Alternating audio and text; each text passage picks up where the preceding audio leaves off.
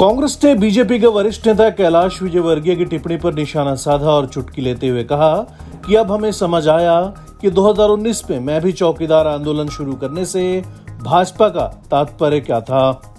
BJP नेता की टिप्पणी के संदर्भ में कांग्रेस नेता राहुल गांधी ने ट्वीट किया और कहा कि जिन्होंने आज़ादी के बावन सालों तक तिरंगा नहीं फहराया, उनसे जवानों के सम्मान की उम्मीद नहीं की जा सकती। उन्होंने लिखा कि युवा सेना में भर्ती होने का जज्बा चौकीदार बनकर भाजपा कार्यालयों की रक्षा करने के लिए नहीं देश की रक्षा के लिए रखते हैं। प्रधानमंत्री की चुप्पी इस बेइज्जती पर मुहर है।